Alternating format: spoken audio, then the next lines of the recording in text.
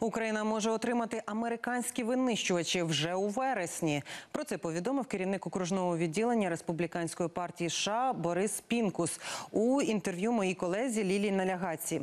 Українські пілоти вже проходять навчання на бойових соколах і дуже успішно. Більше про постачання зброї для захисту України у війні з РФ дивіться в інтерв'ю. В Пентагоне назвали дату встречи донора военной помощи Украине. Она состоится в Германии 8 сентября. На что Украина может рассчитывать после этой встречи? современные виды вооружений. Это дальнобойные снаряды, э, хаймерсы, и это нисомцы, системы противовоздушной обороны. И вот но для всего этого нужны деньги. Так вот, эти доноры сейчас и должны сосредоточить свое внимание на оказании финансовой помощи Украине. Причем это, это финансирование идет и на оборудование, и на, конечно, на сопутствующие материалы, на медикаменты, на многое другое, что связано с войной. Вот ради этого и собирается сегодня а, страны мира, поддерживающие Украину во главе с Америкой. А Еще в прошлом месяце Конгресс одобрил финансирование обучения украинских пилотов на американских истребителях. Насколько реально, что США все-таки поставят Украине эти истребители? Если да, то а, насколько скоро это может быть? Ну, начнем с того, что Конгресс специально выделил 100 миллионов долларов для обучения украинских пилотов. И они уже вот второй месяц обучаются у нас в Калифорнии. И а, один из членов Конгресса из, пала, из Комитета по вооружениям периодически докладывает о том, как идет подготовка а, украинских пилотов. И он в восторге, он всегда очень позитивно рассказывает о том, как украинцы довольно быстро овладевают современными а, видами самолетов. Речь идет о F-15 и F-16, которые уже по вот слухам будут поступать уже в сентябре даже. Ну, надо признаться, многие многое из того, что поставляется и еще будет поставляться, не поступает в публичное информационное пространство по целому ряду причин. Кроме того, речь идет о поставке а, нескольких тысяч, подчеркиваю, беспилотных самолетов, э, дронов, причем современных видов. Еще одна работа проводится по обеспечению Украины э, средствами по разминированию суши.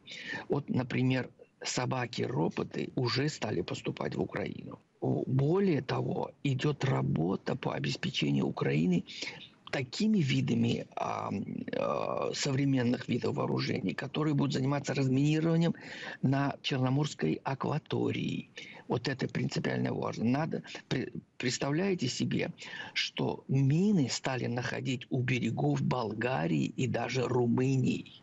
Вот до такой степени Россия раскидала по огромной площади Черноморской акватории мины. Российские пропагандисты говорят, что из-за смены политических элит в США Украина может потерять часть поддержки. А стоит ли этого бояться? Нет, это полнейший абсурд. Абсурд хотя бы потому, что, во-первых, давайте начнем с главного. У нас демократическое общество – ни один политик, ни один, будь то конгрессмен или сенатор, будь то президент, не имеет морального права а, выбирать стратегию своей во внешней политике без учета общественного мнения. Так вот, у нас в стране уже, вот, пожалуй, с первого дня войны в Украине, с 24 февраля, количество американцев, поддерживающих Украину, не снижается ниже 60%. Сегодня это выше, чем 70%. Поэтому, и причем обе партии поддерживают Украину. Достаточно вам привести примеры. Более 20 конгрессменов и сенаторов посетили Украину за последние два месяца. Поддержка Украине незыблема, не ограничена. Поэтому не случайно вот это вот а, пакет трехмиллиардный, он долгосрочный, он рассчитан на два года. Это говорит о многом. То есть промышленность Америки, оборонная промышленность, нацелена на долгий период на полное обеспечение Украины теми видами вооружений, которые будут гарантированно обеспечивать Украину безопасностью. Мы видим только верхушку санкционного айсберга, это персональные, секторальные санкции. Но в США говорили, что еще важную роль будут играть вторичные санкции. Можем ли мы говорить, что кто-то уже под них подпадает? И вообще, как это будет работать? возник разговор о дополнительных санкциях в связи с приданием а, а, России статуса спонсора терроризма. И вот тут возникли споры у нас в стране. А Конгресс, например, полностью настаивает на том, чтобы администрация Байдена незамедлительно объявила статус спонсора терроризма России. Однако Блинкин объяснил отказ тем, свой отказ тем, что это будет связано с а, национальными интересами и безопасностью не только Америки, но и самой Украины. Например, он говорил о том, что а, если мы придадим статус спонсора терроризма России сегодня, то это должно коснуться Турцию, прежде всего, это член НАТО. Турция оказывает большую помощь сегодня Украине. Это коснется Китая, это коснется также и Индии, еще одного партнера американского в торговом и военном отношении. Это коснется и Бразилии, нашего соседа по континенту, и ряда других стран, и в том числе европейские страны, которые до сих пор энергетически зависят от России. То есть круг а, придания или ограничения деятельности за пределами России тех лиц, которые играют ту или иную роль, негативную роль а, в, против своего собственного народа и против интересов Европ... западных стран в самой России, конечно, расширится. И в то же время он должен коснуться тех стран, которые связаны с Россией, особенно тех стран, о которых я уже перечислил, что нежелательно и даже вредно и опасно, даже в интересах самой Украины. Вот этим объясняется отсутствие необходимости объявления дополнительных санкций в настоящее время. Вот, учитывая ленд-лиз, э, когда Украина сможет перевооружиться там, по стандартам НАТО? Вот как вы думаете? Это хороший вопрос. Вы знаете, во-первых, вот сегодня уже, вот в чем проблема.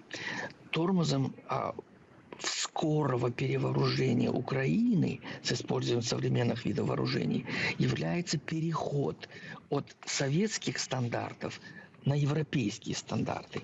Он уже идет в Украине, мощно идет. И слава богу, украинские солдаты, специалисты, смекалисты, они довольно быстро осваивают современные технологии. И тем не менее это берет время. И стандарты НАТО а, требуют более долгосрочного времени освоения современных видов вооружений, даже вот взять тех же Хаймарсов или Нисамсов, они требуют большего времени, чем это а, а, сегодня, например, требует военное время. Поэтому, а, судя по тому, какие планы разработаны, помощь Америки надолго – на высоком профессиональном уровне. И несмотря на то, что Украина официально не является членом НАТО, она входит уже в, де-факто в этот союз по полной программе. Разве что нет только солдат, членов НАТО. Но все остальное в Украине имеется и будет наращиваться. Спасибо большое. Спасибо огромное. Спасибо, Спасибо вам большое. большое. Слава Украине. Героям слава.